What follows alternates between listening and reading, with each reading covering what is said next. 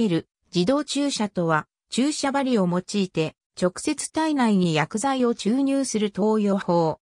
効果の発現が早く安定しているのが特徴である。注射に使う器具を注射器という。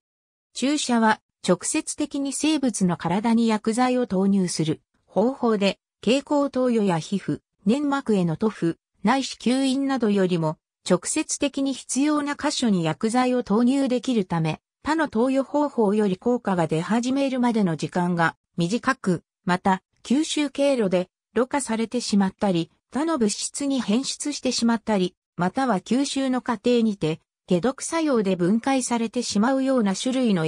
反面、生体の組織に中空の針を貫通させるため、この侵襲に対する拒否感や実質的な被害もあり、そういった問題を解決するために、様々な技術改良や器具使用の技能的な向上も日夜進められている。注射の際にアルコール面で吹き清めるが、2008年2月号の日経メディカルにて、関節注射や留置針を除く一般の皮下注射では、蒸留水を含ませた綿で拭いた場合と、優位な差が見られないとする報告がなされ、意味がない行為だと認識され、消毒をしない医師も増えてきている。なお同報告によれば、皮下注射の場合には、戦死の際に皮下に混入する細菌の数が極めて少ないこと、加えて皮膚表面と皮下組織とではペーハーが大きく異なり、皮膚表面の菌が活動、繁殖できないこと、皮下組織の感染は細菌だけによるものではないことを指摘しており、逆に作り置きのアルコール面では、アルコール分が揮発してしまい、ただの水で湿った脱脂面として菌類が繁殖する。ただし厚生労働省の定める予防接種実施要領によれば、アルコールによる接種部位の消毒をすべきことが明記されている。また選手前に、その箇所を単純に洗ったり拭いて、衛生的にすること自体に、患者側の衛生状態によっては、全く意味がないわけではない。注射は、針を皮膚に突き刺す行為なので痛みがある。実際の痛み以上に、針が刺さるのが、視覚的に痛いと感じてしまう。特に子供はこれを大いに嫌い、医者にかかるときに注射するかどうかは最大級の懸案である。ただこの健康を案じている親の側にしてみれば、注射は経験上で劇的な効果が出やすいとみなされ、注射してくれることを希望する場合もある。また、飲み薬を出されるなどの投薬よりも、より直接的に医師が治療に参加している行為とも受け止められ、注射による治療を期待する場合も見られる。これは刺される側にとっては苦痛であり、ストレスを与えうるため、血液検査の後に血圧を測ると、心理的影響から普段より高い値が出てしまう場合もある。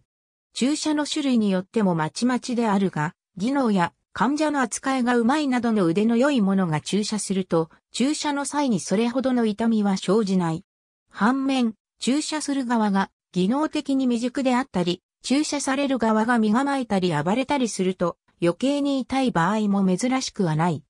こと技能的に未熟で何度も針を刺し直しされたりすると痛いどころの騒ぎではない。従って患者が医者や看護師への評価する場合の基準に注射の紙手ベタが大きな地位を占めることもある。また、歯茎への注射のように針を刺す部位にあらかじめ麻酔する場合もある。なお、戦士の痛みは注射に用いられる針の大きさや形状によっても大きく異なり、予防接種のような集団への注射では、圧力注射とも呼ばれる皮膚に高い圧力で薬剤を浸透させる針を使わない注射器が利用される場合もある。他にも、用途は限られるが、極めて微細なため刺しても痛くない注射針、ナノパス33というものも登場し、糖尿病患者がインスリン投与時に使用するインジェクター等に使用されている。詳細は投与経路を参照薬液を投与する部位によって効き方が異なる。以下のように分類される。皮内注射表皮と神秘の間に薬液を投与する。スベルクリン反応、プリックテストなど検査で用いられる。投与量は0.1から 0.2ml と少量。皮下注射皮下組織に薬液を投与する。針は皮膚に対して斜めに刺す。数ミリリットルまで投与できる。有効成分は比較的感情に吸収される。吸収は毛細血管の血流に影響されるため、血管収縮薬と併用すると吸収が遅延する。筋肉内注射筋肉中に薬液を投与する。針は皮膚に対し垂直に近い角度で刺す。数ミリリットルまで投与できる。一般に、皮下注射より有効成分の吸収は早い。筋肉が未発達な小児への筋肉注射は、大体4頭筋拘縮症の原因の一つと言われている。また、筋肉内には神経や動脈が走っているので投与の際は損傷を避ける必要がある。静脈内注射、常駐薬液を直接静脈内に投与する。容量の制限がなく、効果の発現も早い。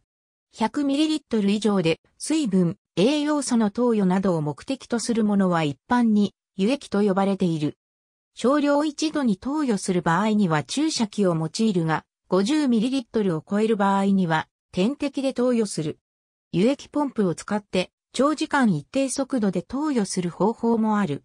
一般的には、末梢の静脈に投与するが、高カロリー輸液は中心静脈に投与する。その他抗がん剤などを直接病巣に到達させる動脈内注射や脊椎麻酔の際に行われる脊髄口内注射、弱霊動物や小動物に対して行われる腹腔内注射などがある。注射は注射剤そのものの副作用の他に次のような健康被害を起こすことが知られている。感染症日本では予防接種の際に注射器や注射針を交換しないで連続で用いたことにより肝炎ウイルスによる集団感染を引き起こした。